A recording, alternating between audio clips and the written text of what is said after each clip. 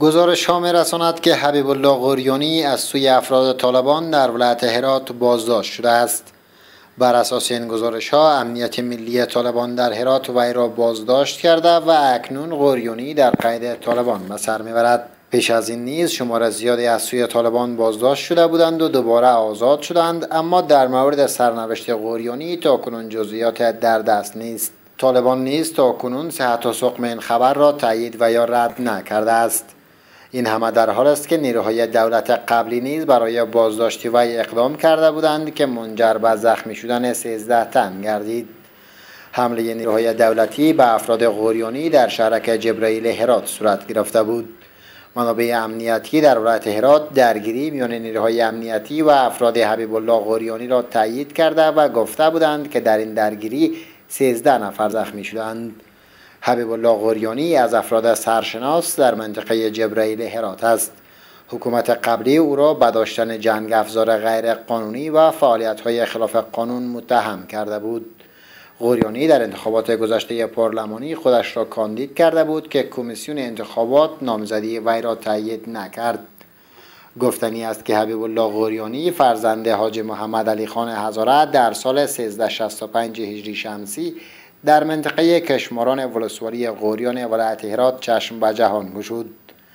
پدر وی یکی از بازرگان و متنفذین ولسوالی غوریان می باشد وی در سال 1382 هجری شمسی سند فراغت خش را از لیسه وزیریار محمد الکوزی به دست آورد که بعد از فراغت از لیسه مذکور وارد مدرسه علمی جعفریه گردید و دروسی دینی خش را در نزد اساتید این حوزه فرا گرفت. بعد از دو سال تحصیل در حوزه علمیه مذکور به زادگاهش غوریان برگشت و مصروف کشت و کار زراعتی به خصوص زعفران گردید. حاجی حبیب الله غوریانی در طی یک دهه اخیر یکی از تاجران ملی کشور و نیز به حیث ارباب برحال در ولسوالی غوریان فعالیت دارد. و اما اکنون بر اساس گزارش ها در قید طالبان به سر می‌برد و هنوز از سرنوشت وی خبر نیست. این همه در حال است که ریگستانی بعد تازگی در مورد اقدامات بعدی اظهار نظر کرده که گفته های وی از این قرار است. مقاومت زنده است و طالبان بر سرزمین پنشیر مسلط نخواهند شد. پیام تازه ویدیویی جبهه مقاومت ملی نشر شده که در آن شمار از فرماندهان ارشد این جبهه دیده می شود در این پیام سال محمد ریگستانی فرمانده ارشد این جبهه از استادگی در برابر طالبان سخن زده و طالبان را متهم به جنایت و کشتار بیگناهان در پنشیر نموده است. جبهه مقاومت ملی در حال از استادگی در برابر طالبان سخن می‌زند که تلاش برای ایجاد یک حکومت همشمول جریان دارد. در آخرین مورد امران خان نخست وزیر پاکستان از صحبت با تاجیک ها هزاره ها و ازبک ها سخن زده و امام علی رحمان رئیس جمهور تاجکستان از شمولیت گروه های قومی در قدرت از جمله تاجیک ها حمایت کرده است. امران خان نخست وزیر پاکستان اعلام کرد که پس از مذاکرات با رهبران همسایه افغانستان به ویژه گفتگو با امام علی رحمان رئیس جمهور تاجکستان رأی را با طالبان آغاز کرده است. خان در تیویت نوشته است که گفتگو با طالبان برای تشکیل یک دولت فراگیر با شمولیت تاجک ها هزاره ها و ازبک ها را آغاز کرده است. با گفته امران خان پس از چهل سال درگیری حکومت فراگیر صلح و ثبات افغانستان را تضمین می کند که نه تنها به نفع این کشور بلکه به نفع همه منطقه است امران خان جزئیات بیشتر درباره این مذاکرات نداده است نخست وزیر پاکستان در جریان سفر به دوشنبه پایتخت تاجکستان برای شرکت در نشست رهبران سازمان همکاری های شانگهای با امام علی رحمان دیدار کرد. او در یک نشست خبری مشترک با رحمان اعلام کرد که یکی از مسائلی که پاکستان و تاجکستان را نگران کرده است درگیری بین تاجک ها و طالبان در پنشیر است. خان گفت در این دیدار ما توافق کردیم که جناب عالی امام علی رحمان از طرف تاجک ها و ما به نمایندگی از پشتون ها یا طالبان تلاش های لازم را انجام خواهیم داد تا مسئله پنشیر از طریق گفتگو حل و فصل شود. امام علی رحمان در نشست تاکید کرد که باید مسئله پنشیر حل و آتش بس اعلام شود.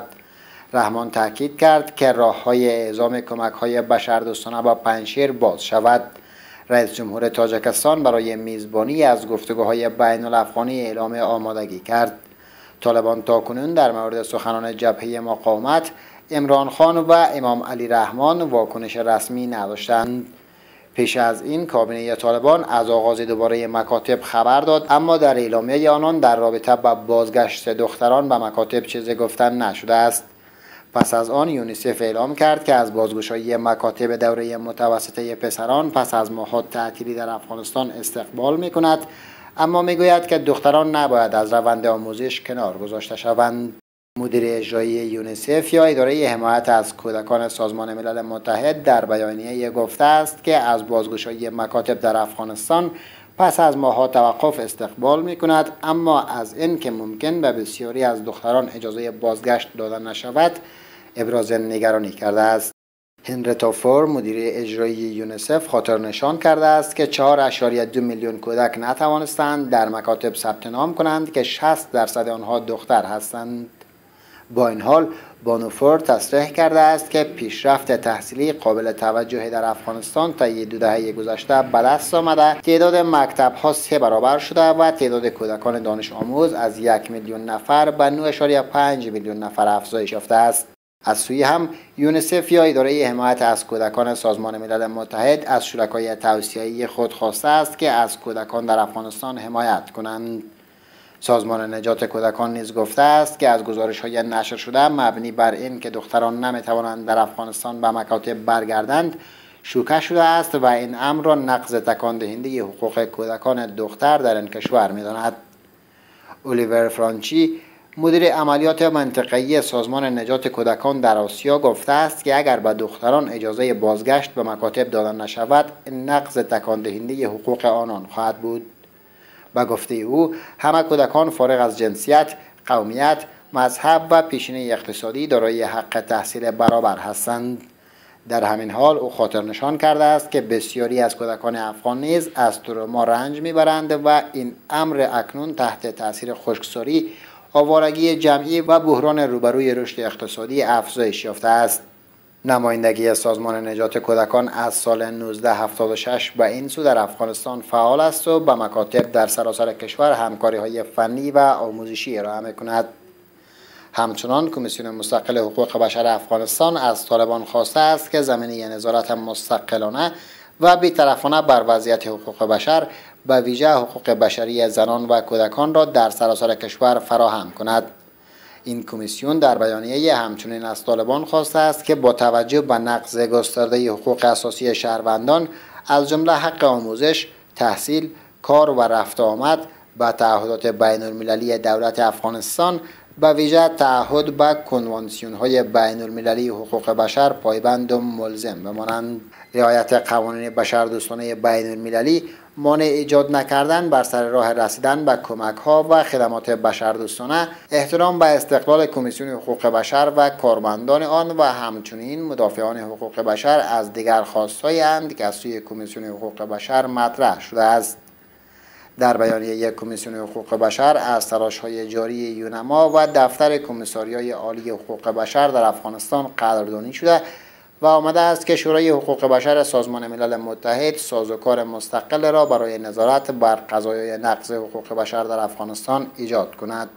از سوی هم کمیسیون مستقل حقوق بشر گفته است که از تاریخ 24 ماه اسد سال جاری تا کنون نتوانسته است وظایف خود را در قبال مردم افغانستان انجام دهد. با این حال کمیسیون حقوق بشر گفته است که طالبان پیش از این نسبت به حقوق بشر به توجه بوده و رهبری این کمیسیون احترام طالبان به مأموریت و استقلال کمیسیون را محتمل نمی‌داند. کمیسیون تاکید کرده است که اگر نتواند از حقوق کارکنان زن این نهاد حمایت کند از حقوق دیگر شهروندان افغانستان نیز نمی‌تواند حمایت کند. به گفته کمیسیون حقوق بشر ناتوانی در اجرای وظایف این کمیسیون یکجا با نگرانی های برحق فعالان جامعه مدنی و خبرنگاران در مورد وضع محدودیت ها بر آزادی بیان منجر به کاهش چشمگیر توانایی شهروندان افغانستان در زمینه نظارت بر حقوق آنها و حمایت از این حقوق شده است. تشکر از اینکه تا انتهای این ویدیو با ما همراه بودید. برای با خبر شدن از تازه های افغانستان ما را دنبال کنید. وقت بخیر خدا نگهدار.